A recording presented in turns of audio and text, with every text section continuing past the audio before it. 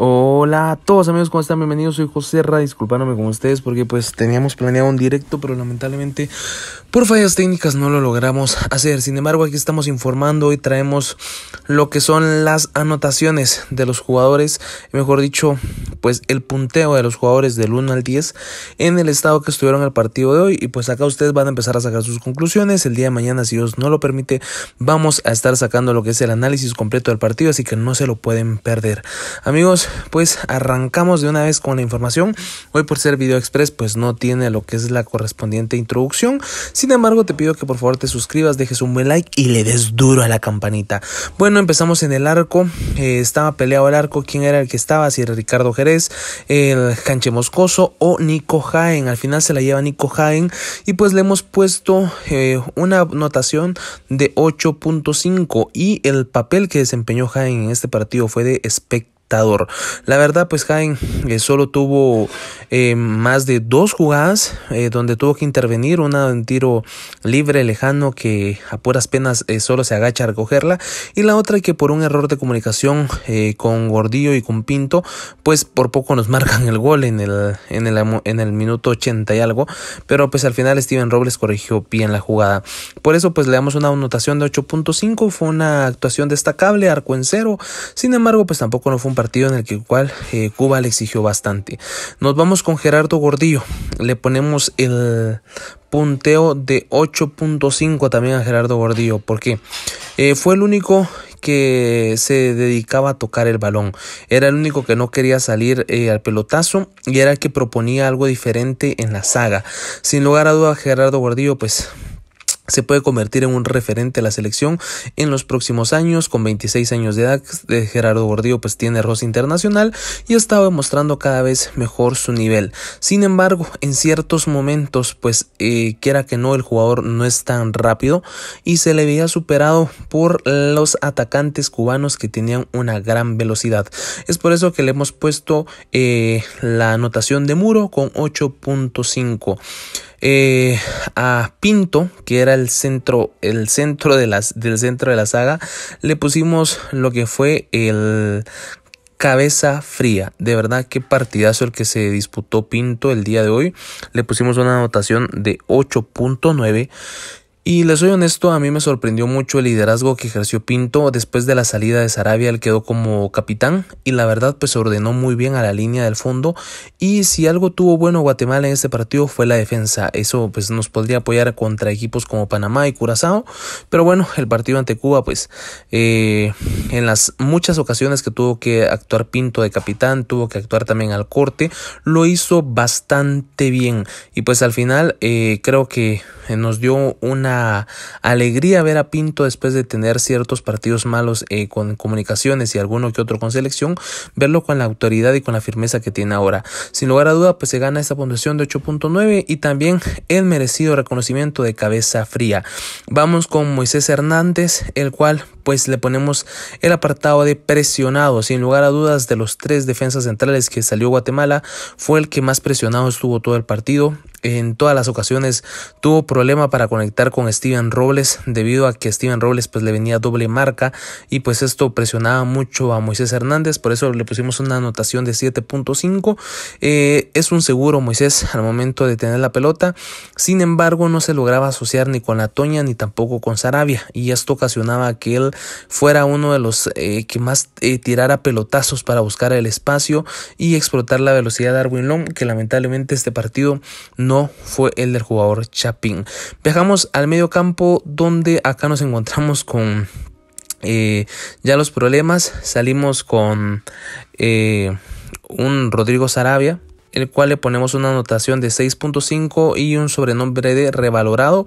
Eh, después de unas pésimas participaciones tanto con eh, Puerto Rico y también con Nicaragua, pues en este partido estuvo cumplidor, eh, fue muy bien al corte. A veces, pues, quiera que no se hacía falta más la presencia de alguien en el medio campo que pudiera crear jugadas y es por eso que tiene esta anotación de 6.5. nos vamos a su compañero, el cual pues fue la Toña Márquez y le hemos puesto una anotación también de 6.5 y el sobrenombre de presencial. Fue un jugador que cumplió, sin embargo, pues eso solo prestó su presencia, no hizo nada diferente de lo que se le podría estar pidiendo.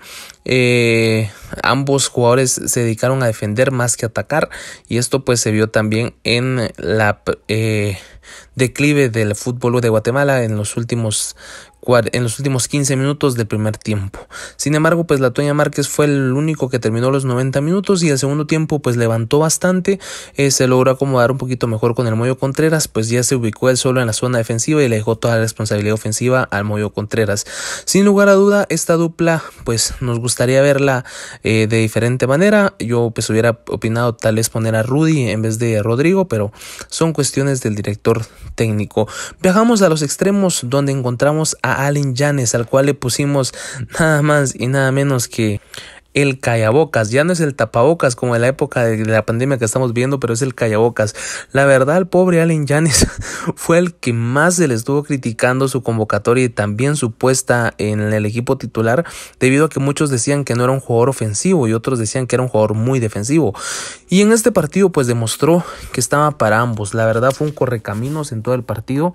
Eh, se merece el apodo que le hemos puesto y nos cayó la boca a muchos. Era el único que se asociaba con el Chucho, fue el que puso aquel centro que remata Darwin Lom y se va muy poco, muy pero muy poco de, del arco rival por un desvío de un eh, defensa cubano y pues Allen Janes disputó 45 minutos, cometió una falta, una falta fragante que le, sacó, le costó la tarjeta amarilla y entendemos que por allí pues hubiera venido también su suplencia a los 45 minutos. Viajamos a la otra banda donde, y por cierto, pues le ponemos a Allen Yanes una anotación de 8.9. Fue muy sobresaliente Yanes, logró parar muy bien los embistes del ataque cubano y pues por eso le pusimos esta nota tan sobresaliente. Viajamos ahora con Steven El Perón Robles, al cual pues le ponemos lo que es la ponderación de presionado. Si hubo un equipo, un jugador que tuvo mucha presión en este equipo, fue la banda de Moisés Hernández y del Pelón Robles. La verdad, todo el tiempo estuvo obligado a, a estar en la defensa a estar muy pendiente de los carrileros, estuvo muy concentrado y pues por eso le pusimos esta parte de presionado. Por su parte, el Pelón Robles tuvo muy buenos destellos como siempre, hizo un disparo apresurado que se fue pero cerquísima del arco rival. Y también en el segundo tiempo ya cuando el partido se estaba quebrando a favor de Guatemala pues tomó la iniciativa y se fue en varias ocasiones al ataque. Así que por eso le pusimos eh, este título de presionado en el primer tiempo y en el segundo tiempo le pusimos el título de pulmón. Es el jugador que tiene doble título porque en el primer tiempo pues se vio ciertamente muy presionado, pero en el segundo tiempo era un pulmón que venía e iba. Entonces por eso pues se gana esta ponderación el pelón Robles y su puntuación para nosotros, obviamente que no tenemos una verdad absoluta, es de 8.0. Viajamos al ataque donde pues va a haber mucha eh, controversia. Y Luis Martínez, eh, el cual era un torito en la cancha, como bien lo decían los comentaristas, le hemos puesto nada más y nada menos que sobrenombre de luchador con una ponderación de 7.0. Fue el anotador del único tanto del partido, siempre estuvo buscando ir a luchar por el balón, sin embargo no podía encontrarse con Darwin Lom ni tampoco con el Chucho López. Se le vio muy incómodo en el partido y pues al final eh, la ponderación es la que tiene y logró un gran gol en las eliminatorias que nos da la gran victoria. Darwin Lom, el centro delantero, aquí van a haber muchas críticas, fue un jugador que se eh, peleó todos los balones. Sin embargo, pues la mayoría de las peleas resultaban en el suelo debido a la fortaleza de los eh, defensas cubanos y también pues es algo de renombrar que el jugador eh, tuvo un gran desgaste físico, fue uno de los pocos que estuvo corriendo, sin embargo le hace falta madurar todavía en saber en qué momento apresurarse a presionar y en cuáles no. Por eso le ponemos el sobrenombre de impreciso. Ah, le ponemos una calificación a Darwin Lom de 6.5, fue uno de los que tendría que haber creado más peligros para Guatemala hizo dos remates interesantes, pero se vio ahogado por una defensa cubana muy bien colocada. El Chucho López le ponemos un sobrenombre de sobresaliente. La verdad, en los primeros 20 minutos de Chucho López en el primer tiempo fueron eh, renombrables, la verdad. Eh, tuvo muy buena conexión con Darwin Long como con Allen Yanes. Sin embargo, como iba pasando el partido de Guatemala, iba perdiendo la pelota, el Chucho López iba desapareciendo. Al contrario de sus dos compañeros, pues el Chucho López era el único que mostraba lo que era un interés por buscar un disparo de fuera del área, también por regatear y por buscar jugadas. Es por eso que le damos la ponderación a Chucho López de 8.5. Es uno de los jugadores más relevantes de Guatemala y pues esperamos seguirle viendo más tiempo en la selección y que así pueda ir conociéndose mejor con los jugadores. Ahora vamos con aquellos jugadores que ingresaron de cambio, aquellos jugadores que eran llamados a ser revulsivos para el equipo y pues al medio tiempo ingresó Pineda por Llanes. La verdad pues esta incorporación eh, llamaba mucho la atención. Sin embargo el jugador pues hizo un papel eh, muy estable y por eso le hemos puesto el sobrenombre de cumplidor, sin embargo en la defensa a veces dejaba mucho que desear por la rapidez de los jugadores cubanos, no es tanto por falta de talento sino por la rapidez del rival y es por eso que le hemos puesto una nota de 6.5. También tenemos a jugadores interesantes como Márquez eh, que entró por el Moyo y también, eh, perdón, eh, salió Rodrigo Sarabia que entró por el Moyo y el Moyo Contreras pues le hemos puesto una ponderación de 6.5 y le hemos puesto eh, motor. ¿Por qué? Porque cuando entró el Moyo Contreras se vio la diferencia. Hubo alguien que buscaba un pase para un lugar y para el otro. Estuvo peleando ciertas, eh, ciertos balones. Sin embargo, al final, pues no pudo tener una eh, participación tan, eh, destacada del Moyo Contreras porque Guatemala ya estaba jugándose la vida, ya no estaba teniendo tanto el control de la pelota y eh, se estaba llegando más al arco rival solo pues por, por llegar, ya no estaba estructurándose las jugadas y al final esto le pasó factura al Moyo Contreras. El mismo minuto 63 entró Marvin Ceballos por Luis Martínez, fue un partido algo agridulce para Marvin Ceballos, pues era nuevamente partido eliminatorio, sin embargo no pudo desbordar como él quería, así de se, no se lograba comunicar bien con el pelón Robles y al final pues esto pasó factura. Hubieron dos o tres jugadas donde perdieron la pelota por culpa de una mala comunicación y es por eso que le ponemos el sobrenombre de cumplidor con una nota de 6.5. Por allí también ingresó al minuto 75 eh, el flaco Martínez por Darwin Lom, eh, totalmente ausente el flaco,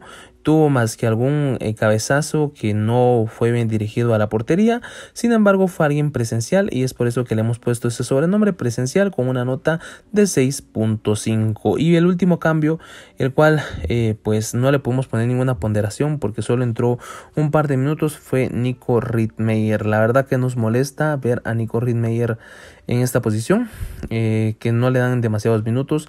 No entiendo les soy bien honesto eh, como el director técnico Amarini Viatoro no cambió el esquema para poder tener a Nico Ridmey y a Chucho López juntos. Creo que nos hubieran eh, dado bastante desequilibrio y al momento de ir ganando 1 a 0 era momento que entrara Nico y rompiera el partido. Amigos, estas son las anotaciones de los jugadores. Mañana se viene un análisis de verdad destacado por todo el partido. Eh, me estoy aguantando el, enojo que traigo. Y pues eh, mañana espero ver otra vez el partido para ya hablarlo con más tranquilidad con todos ustedes. Soy José por favor déjense un buen like, compartan todo nuestro contenido y pues nos vemos en próximos videos. Chao.